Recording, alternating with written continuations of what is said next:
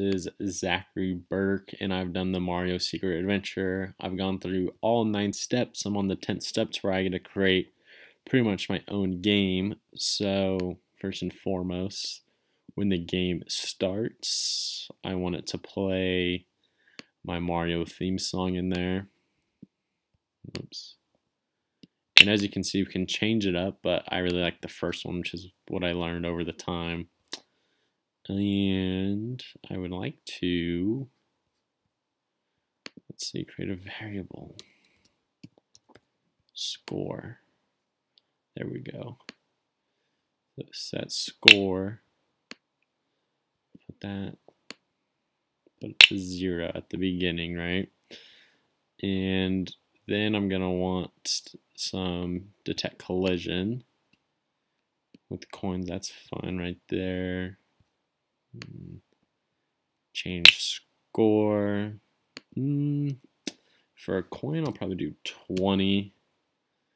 And I will play music. Where's that at? Coin collect, right there. And then with that, that means I'm obviously also going to have to have a collision with, let's say, we'll do diamonds. And diamonds will have a lower score. Uh, so with that, put that there. And I'm thinking just like five points for diamonds. And the music, there's also, there's music for like everything, which is super cool. Right there. Diamond Collect, super easy. And the enemies, where's detect Collision again? There's just so many options, which is super cool. You gotta like customize it in every way possible. And with enemies there, where's my lives? Hmm, I might have to make another variable. We'll do lives right there set lives. We'll make that three. And change lives by one right there.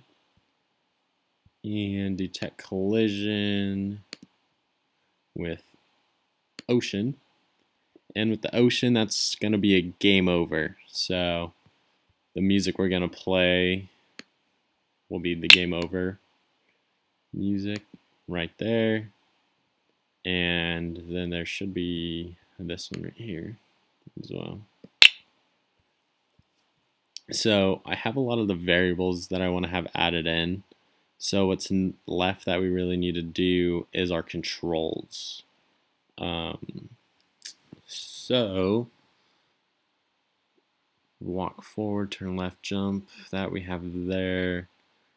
But I need to have the this is what I was looking for. So when spaces jump, player jumps, and then there's also a sound I could play for that. I want to say it's here, jump sound. Yep, this here, went up slash W. The reason I use that and W is just because it's easier. Um, gives different players whatever they want to use. I don't want to make them only use arrows or only use W's. And then the left, turn left, and when left arrow, when down is slash S, the player, the player will walk backward, and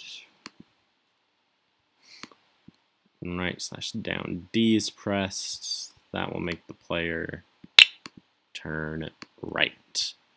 So after that, I also kind of want to add in, while game is running, there's some things I want to change. So avatar, I keep, I'll keep Iron Man. I like Iron Man. Set ground texture. We'll do stone.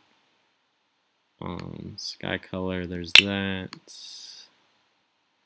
And that. And then this is how it should turn out.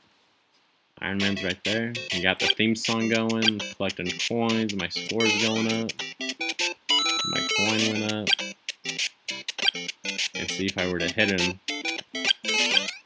actually increased my life. Oh, whoa, whoa. What is going on?